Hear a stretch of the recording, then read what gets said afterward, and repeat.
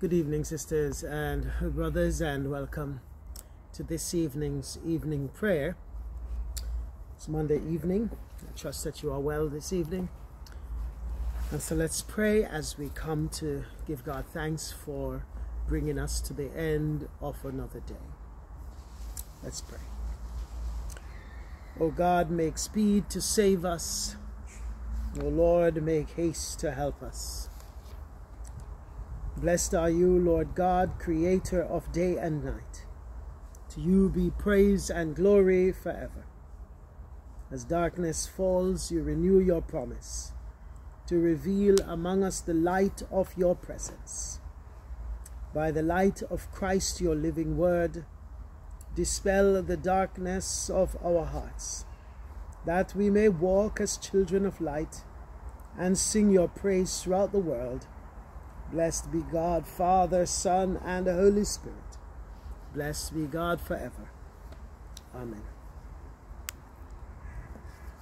That this evening may be wholly good and peaceful, let us pray with one heart and mind.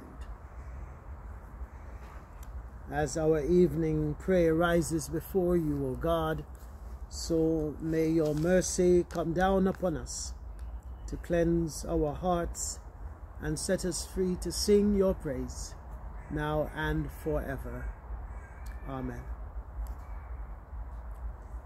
The canticle is from Ephesians chapter 1.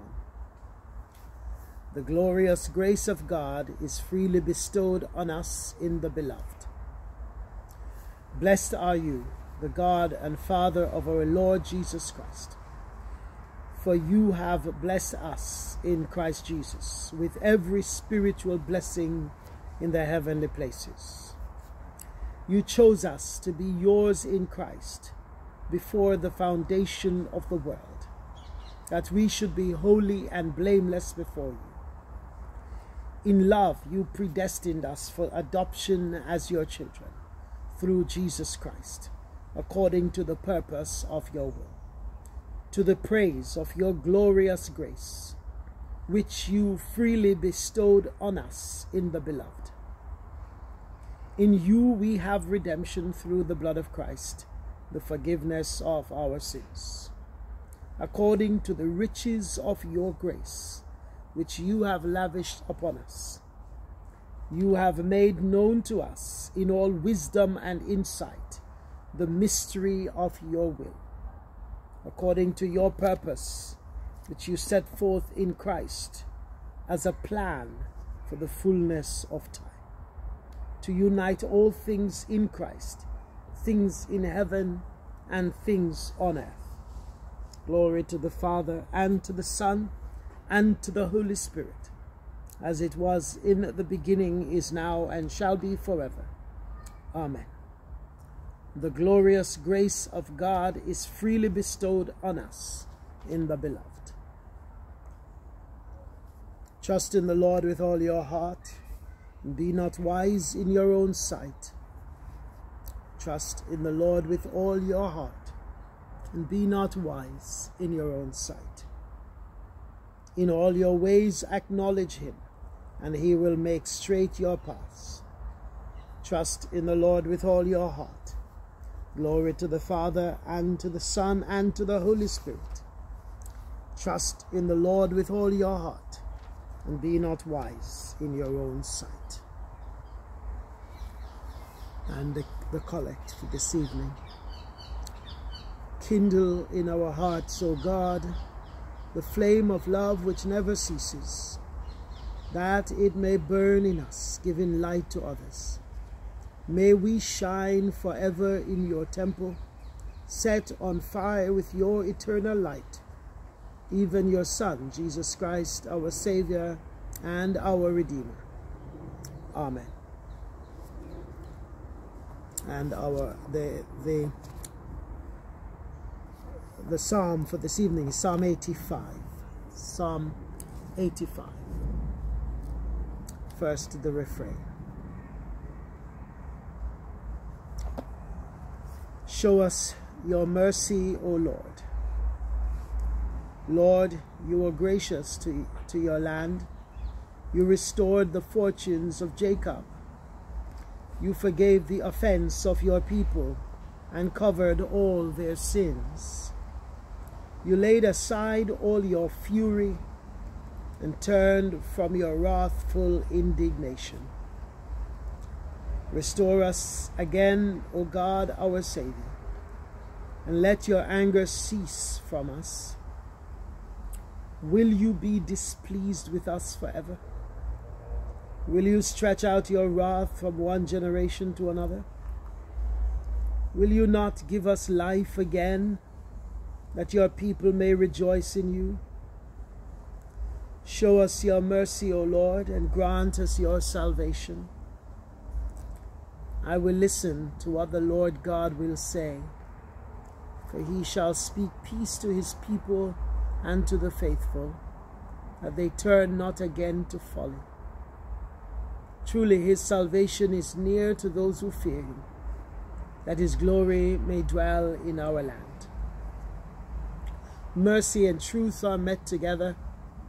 Righteousness and peace have kissed each other. Truth shall spring up from the earth, and righteousness look down from heaven. The Lord will indeed give all his all that is good, and our land will yield its increase. Righteousness shall go before him and direct his steps in the way. Show us your mercy, O Lord, and our prayer. Most holy God, when we come to you fearing that truth condemns us, show us that truth is one with love in your word made flesh, our Savior, Jesus Christ. Amen. Amen and um,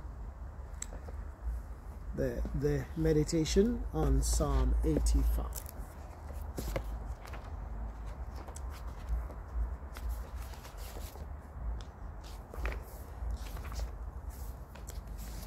The Christian life is not static like a spiritual plateau.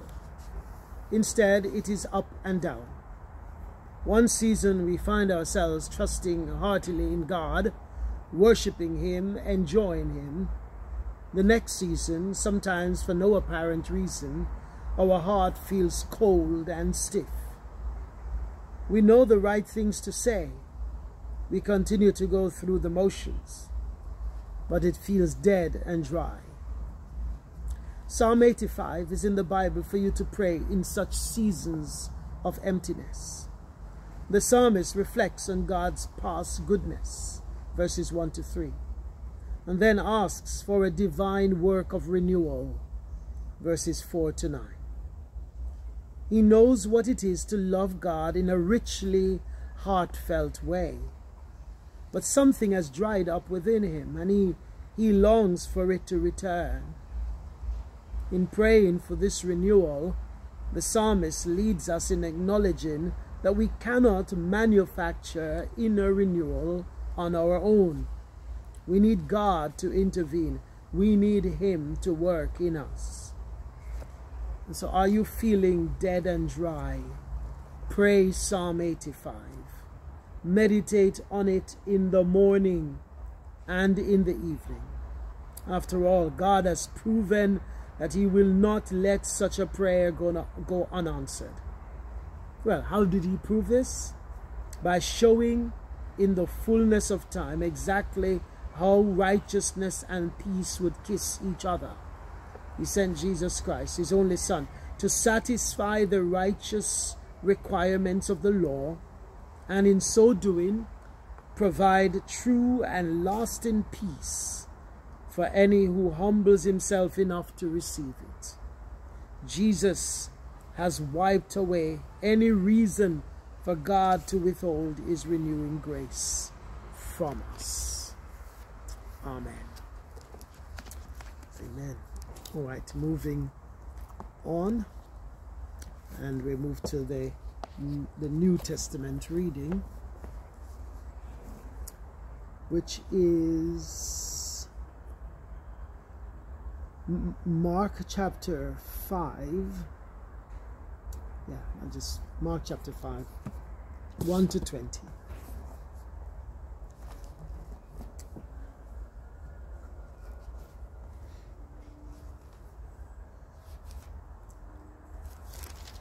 Mark chapter 5, 1 to 20.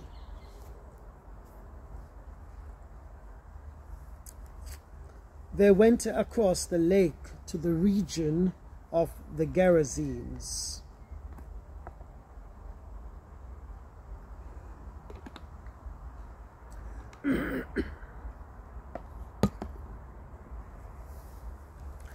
when Jesus got out of the boat, a man with an impure spirit came from the tombs to meet him. This man lived in the tombs, and no one could bind him any more, not even with a chain. Just make sure this is right. Yep. For he had often been chained hand and foot, but he tore the chains apart and broke the irons on his feet. No one was strong enough to subdue him. Night and day among the tombs and in the, on, in the hills, he would cry out and cut himself with stones. When he saw Jesus from a distance, he ran and fell on his knees in front of him. He shouted at the top of his voice, What do you want with me, Jesus, Son of the Most High God? In God's name, don't torture me. Jesus had said to him, Come out of this man, you impure spirit. Then Jesus asked him, What is your name? My name is Legion, he replied, for we are many. And he begged Jesus again and again not to send them out of the area. A large herd of pigs was feeding on the nearby hillside. The demons begged Jesus, Send us among the pigs Allow us to go into them. He gave them permission, and the impure spirits came out and went into the pigs.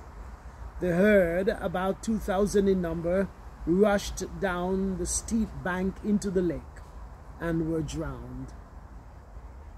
Those tending the pigs ran off and reported this in the town and countryside, and the people went out to see what had happened. When they came to Jesus, they saw the man who had been possessed by the legion of demons, sitting there, dressed and in his right mind, and they were afraid.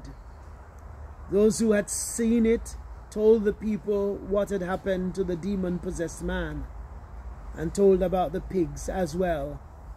Then the people began to plead with Jesus to leave their region as Jesus was getting into the boat, the man who had been demon possessed begged to go with him.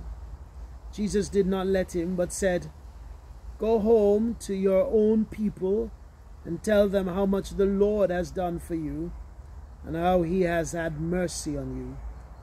So the man went away and began to tell in the Decapolis how much Jesus had done for him, and all the people were amazed. Amen.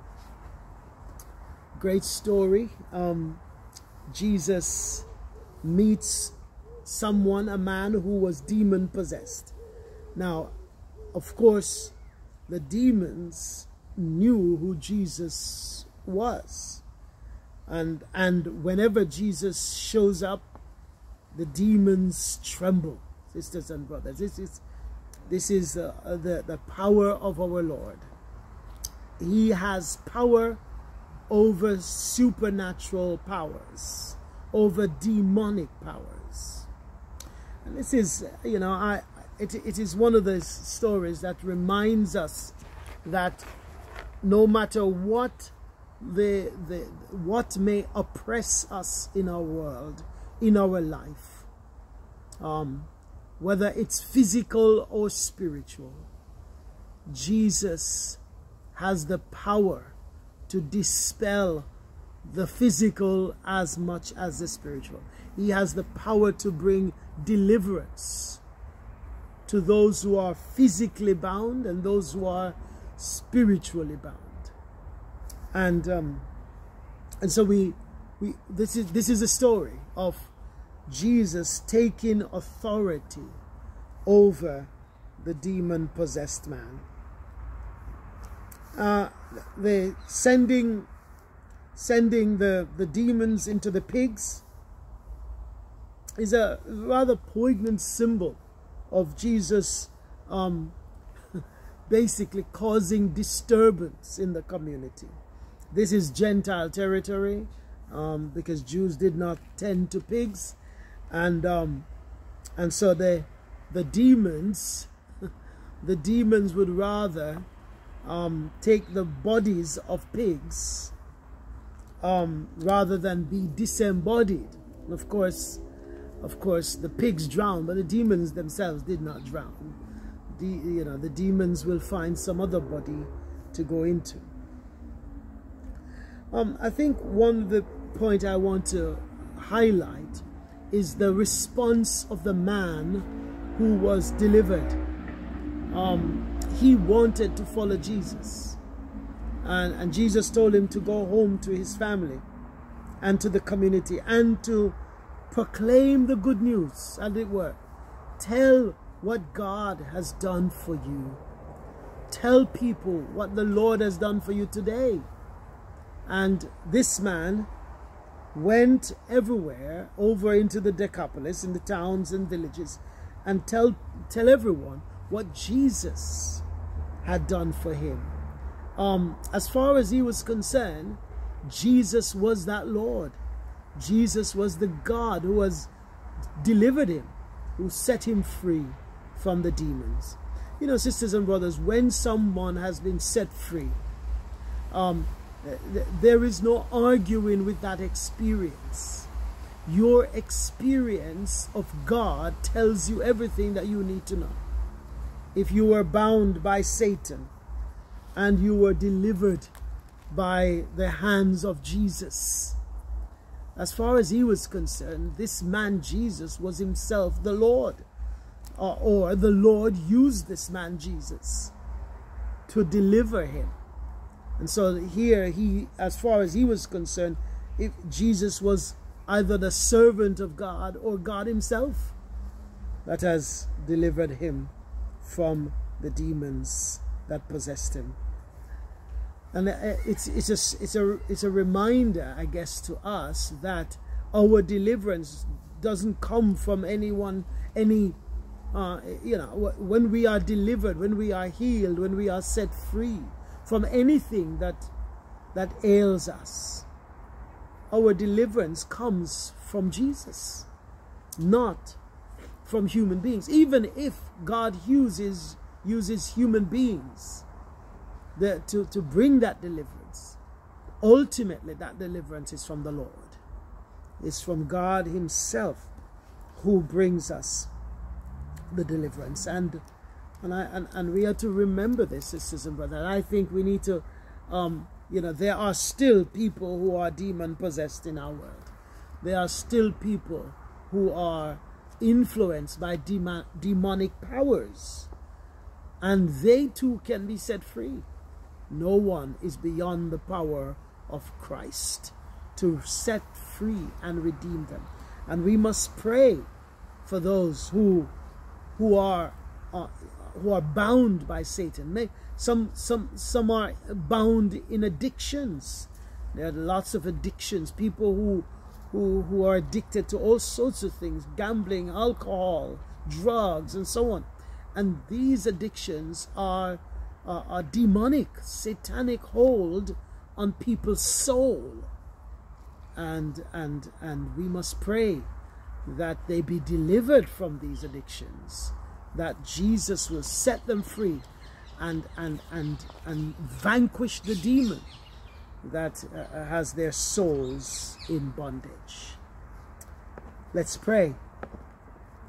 Our Father in heaven, we thank you for bringing us to the end of another day. Lord, as we think about this man who was delivered from legions of demons, we think about our world and those who are imprisoned in their souls by demonic powers, by spiritual authorities and powers in the heavenly places. Lord, we think of those who are who are bound by addiction, addiction to alcohol, to drugs, uh, to, to, to gambling, and, and, and various other things in this world, things that might even be good, but become evil because of their addiction.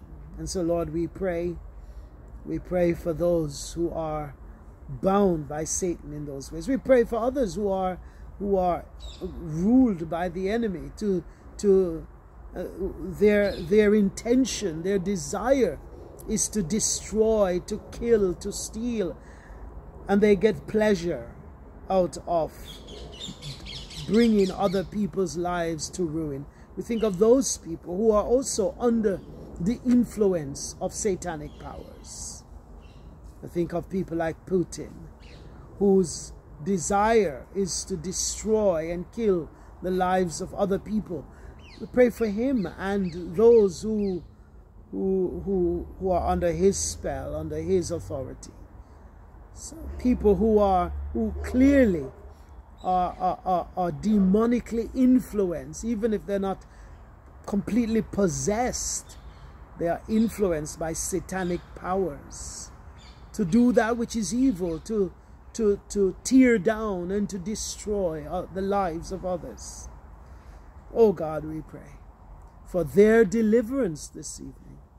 We pray, Lord Jesus, that you will that you will intervene on their behalf and set them free from the demonic influence in their lives and, uh, and, and release them, oh God, from the prison that they are in, in their minds, in their souls, from the prison of demonic powers. Lord, in your mercy, hear our prayer.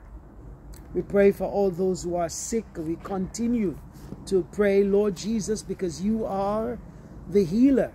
And it is in your name that we find deliverance and strength and healing and salvation. And so, Lord, we pray. We pray for those who are who are sick tonight, those who who have who have a need, uh, pray who are in need of prayers tonight for for whatever reason.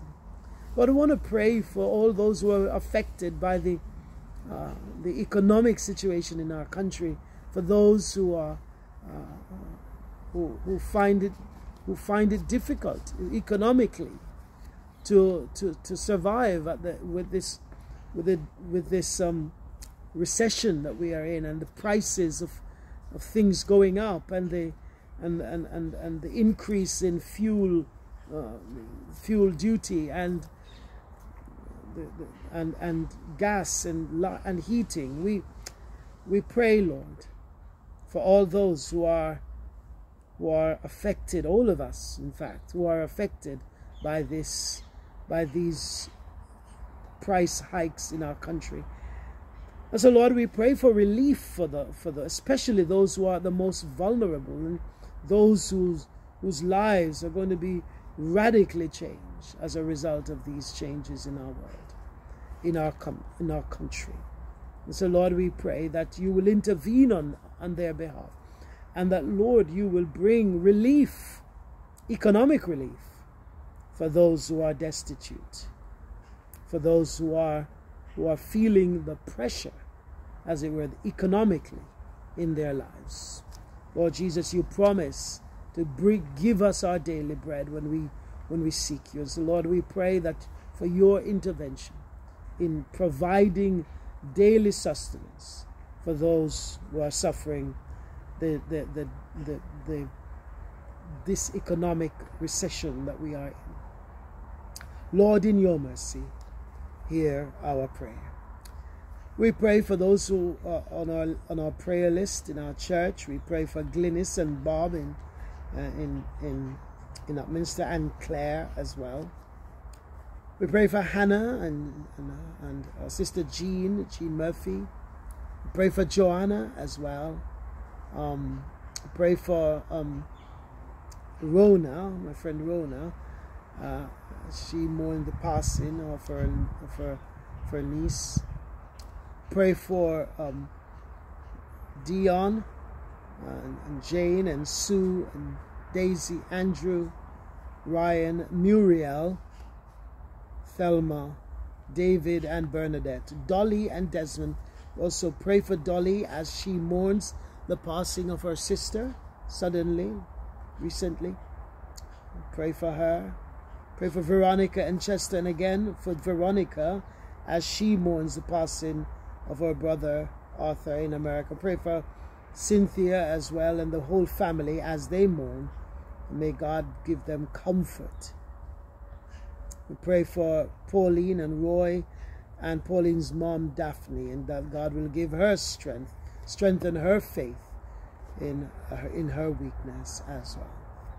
Pray for Doreen and pray that God will strengthen her. Pray for Andy and Anita. And um, we pray also for uh, Maxine and her children, Suri, Lourdes, and Ian.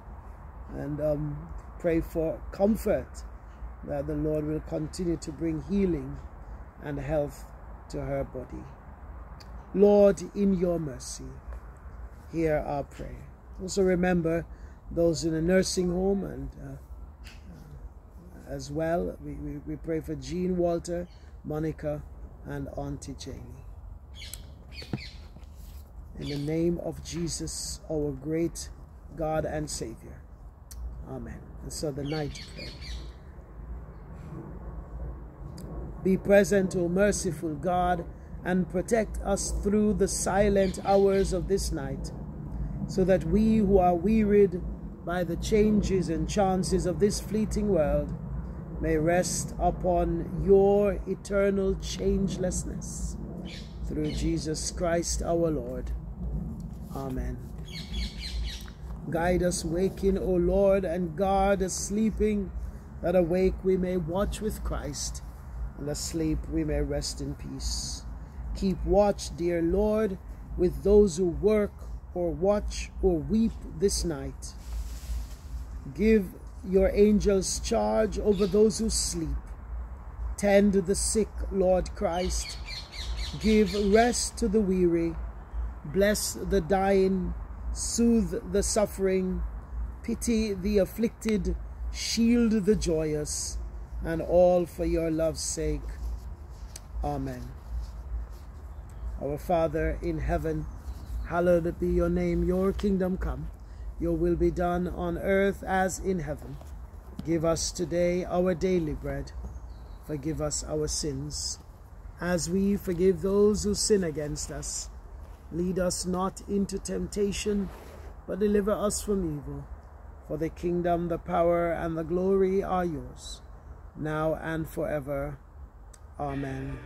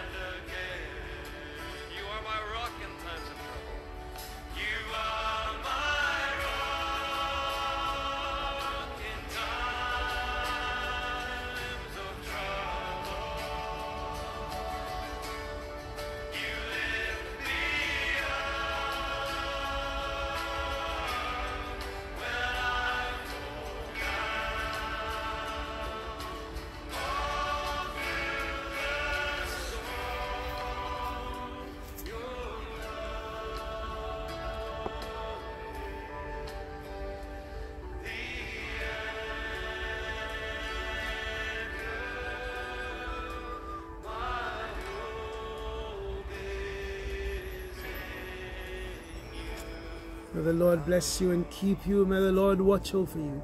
May the Lord give you his peace and rest tonight from all anxiety and fear and worry.